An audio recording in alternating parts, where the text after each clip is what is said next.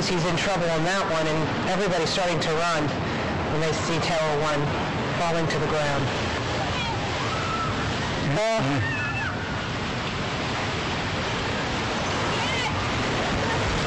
And when you're running like that, just in fear for your life, you have no idea how close that is behind you. We don't deal with that. And it's just coming from every street. Look at that. Saw Dave.